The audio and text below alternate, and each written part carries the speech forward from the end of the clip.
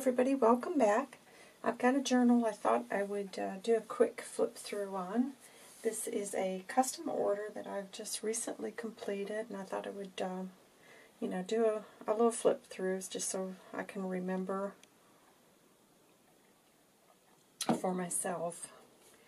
Um, I've been kind of busy doing other projects lately, so I haven't done a lot of journals, um, just working them in, you know, here and there. And uh, like I said, I've been trying to, to play around with some new um, skills and different hobbies. So it's been kind of fun because I, I really lost my mojo with everything that's been going on, as I know so many of you are struggling with as well. So this is a one signature journal, and it's a big one, um, super, super chunky. I've just um, done a lot of laces. She loves pink, and um, she's a girly girl, so I wanted to make sure that this was going to be something that had, you know, the things that she was drawn to.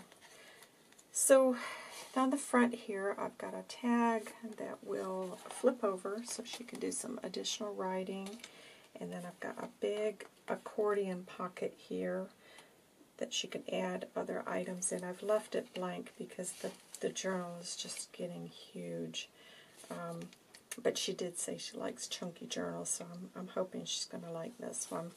So what I've got here is a little pocket and um, I've done a tutorial on how to make these. It's just additional writing space there and very shabby chic. She likes purples and pinks.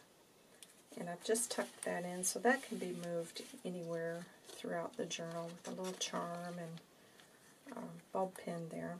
And then this flips over and I've got another little tag here with a pocket. And then this area I've left because I thought she could add a photo or several photos, or she could just journal in there.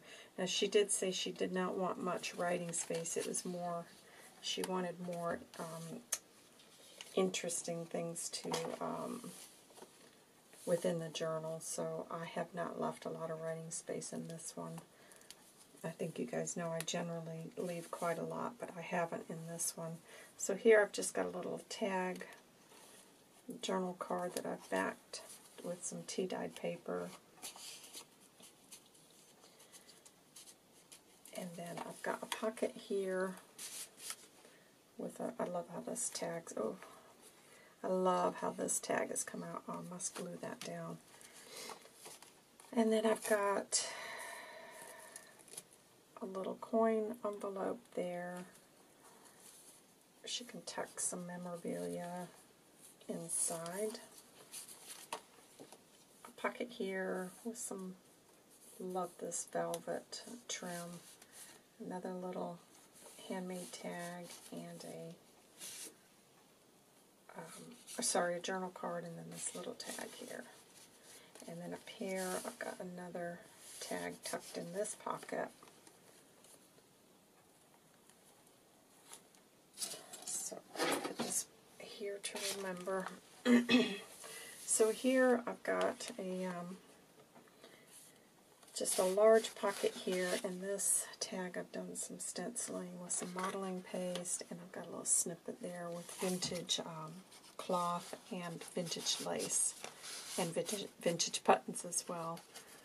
So that's been tucked in, and this is uh, vellum uh, from my uh, chap sorry chapter one. Um, her inspiration kit, this was included, and I thought that was really pretty to put over that pocket. Uh, papers in here are mostly um, nostalgia graphic and my porch prints, and this is a piece of vellum.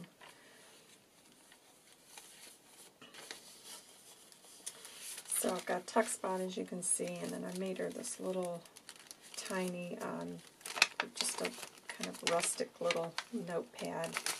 And then I've added some things here, bits of paper, uh, scraps of fabrics, and um, vintage trims and button. I got a ruffle here, and then I wanted to use the rest of this vellum, so I've made a little journal card out of that. and some buttons, and then this other little tag here that's got a pocket, some lace on it. That's just all tucked in there. And then here I've made a large journaling card in one of the one window envelope flips that um, and then just various things. I won't pull everything out because it would take ages to do. I just wanted to have a quick reminder. A little um, journal card here that's been embossed. And I've done stenciling throughout the journal. And then a lot of embossing. And then there's snippets. And just various things. This was on some handmade paper. I do love to make these.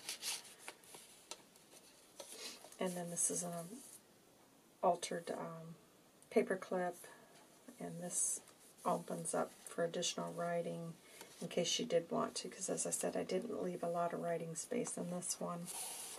And then another little journal card there with some vintage trim or lace that I had. This is some vintage wallpaper, um, and this was in the inspiration kit from um, Chapter 1 I think I purchased that probably close on a year ago. I don't know if she she sold out straight away, um, and I'm hoping that they will do some more because those were really fun to receive.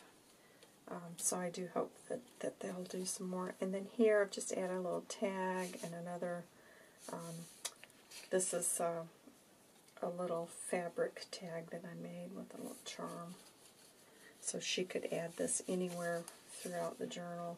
More um, little pocket with a tag and then another bit of writing here. Love these papers. And then here I've just done a, a book, two book, book page pockets that flip over. And then the center of the signature, I've just created this, and it's got um, a pocket here,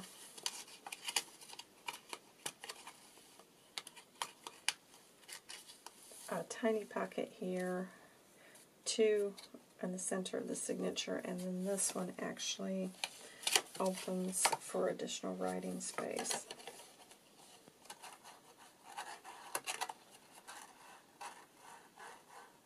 This was a lot of fun to make this journal because uh, these are definitely my colors. You know I like the shabby chic. Sorry, I just got that tucked in behind. Love these papers. And then here, another little um, tuck spot. And then I've done a tutorial for this little postcard as well. And then this flips down and flips over so she can make a little note here. And this just some little trim.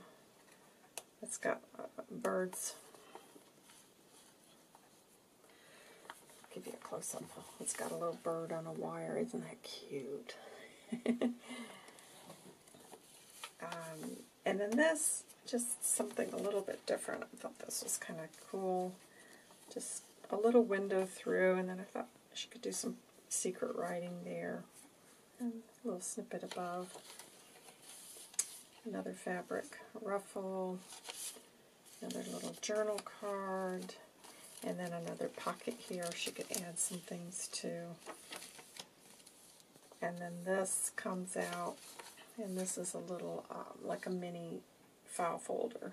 So she can do some writing in there.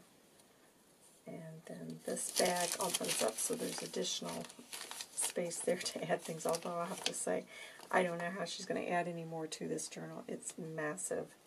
Um, here, I've made a tuck spot using, these are from My Porch Prints. Love those. They're they're just so sweet. And then this was some of my pressed flowers from last summer. And then I just tucked that in there. Old paper here. Um, this is a little flip. It's got the pockets, pocket here, and then I've got two pockets on the front. And then this little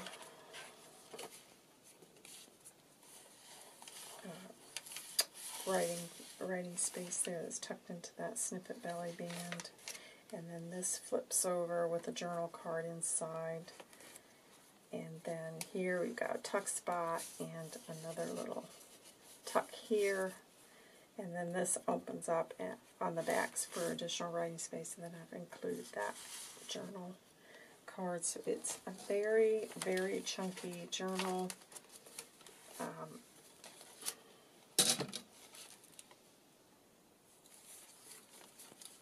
is where this went. Um, so yeah, I hope that she's going to like this and